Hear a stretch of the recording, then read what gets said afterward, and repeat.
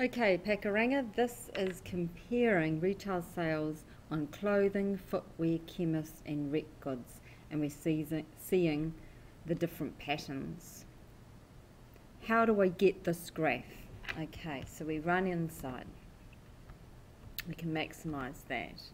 We go data in out, import data. We browse. Here we're going to go to the student shared drive, maths, then from maths, we're going to find 13 stats.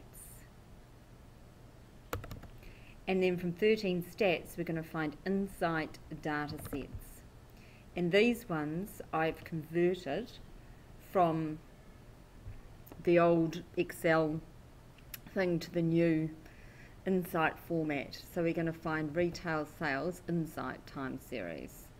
Okay? Okay.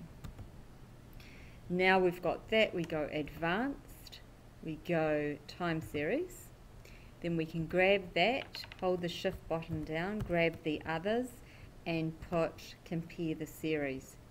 How awesome is that? Now if I just have rec goods, I can plot the time series. It's animating very slowly, showing us, wow, some pretty cool trends there.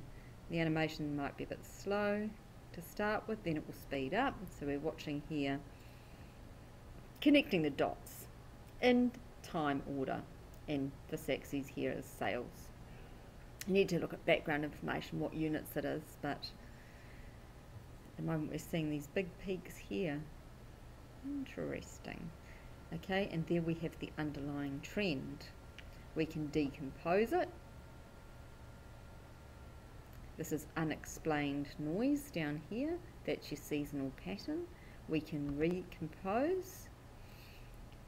Seasonal effect, lining them all up, comparing, and we can predict. So here we have values and with lower and upper bounds with basically 95% confidence. Okay, so that's done.